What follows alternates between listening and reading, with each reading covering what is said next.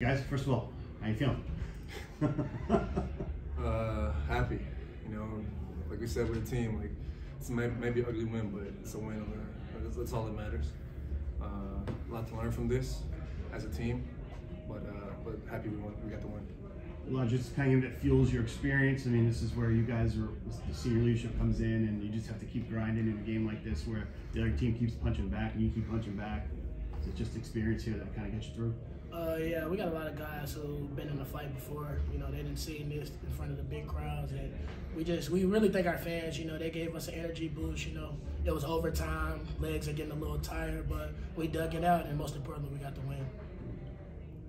Uh, Dylan, talk about uh, playing in the front court today uh, with uh, the way Nelly was going, and you guys were kind of supplementing each other a lot in the paint there. You know, both of you score a lot, a lot of points.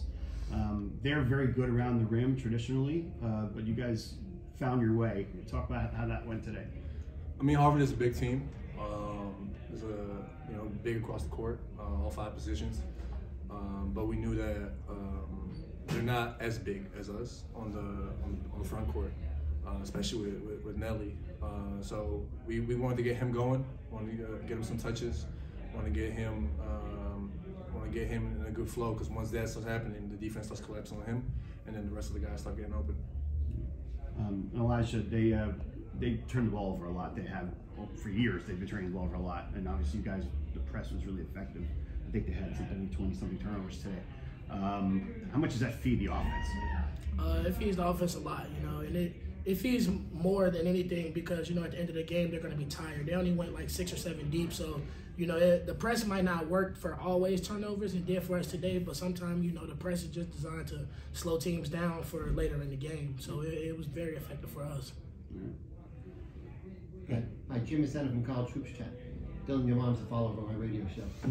Um, uh, they had, um, they seem to have an ability to break down your defense throughout the game, slashing drives to the hole for layups. Do you guys have any thoughts about how why they were able to kind of break down your defense that way? Um, I think what, what they what they're good at is playing our system. You know, they've been playing our system. Uh, it's an Ivy League system that is known for for finding ways and cutting and and, and, and uh, finding your teammates. Um, you know, and we we only had a couple days of practice to, to practice against that, so they, they know what they're doing. Um, but at the end of the day, we said we said to ourselves like they might know what they're doing, but like have some pride in, in stopping your man. And yeah, here and there they they got their ways to get to the bucket, but at the end of the day, like we, we were able to stop them most of them. Right, right. Um, in both the first two games, it seemed like you guys had a little trouble getting the three-point offense going. Is that something you're working on? Is that something that both teams, the defenses you faced both games, Appalachian State, Harvard, tough to get three-point game going? Um, I think teams did a good job of taking a three-point shot away. We got a lot of guys who can shoot the ball very right. well. But uh, I think as the season go along, you know, we still we got we got a lot of new players. So you know, we're still getting used to each other. You know, even though we got two wins, we're still trying to find ways to execute things like that. So as the season go along, I think we'll be fine from the three-point line. Right, right. Um, just one other thing. Um, just curious, was something did you guys discuss with Coach uh, on the end of regulation fouling when they were you were up by three before they hit that three-pointer? Was that something was discussed or just play straight deep? Uh, no, we didn't. We didn't discuss fouling, but we also didn't want to help off right. anybody. And sure, you know, they one of our one we missed an assignment. They made a big shot. You know, we have to live with it. But at the end of the day, all we want to do is get the win. So that's what we got. Right, That's it. Great. Thank you very much. Thanks, guys.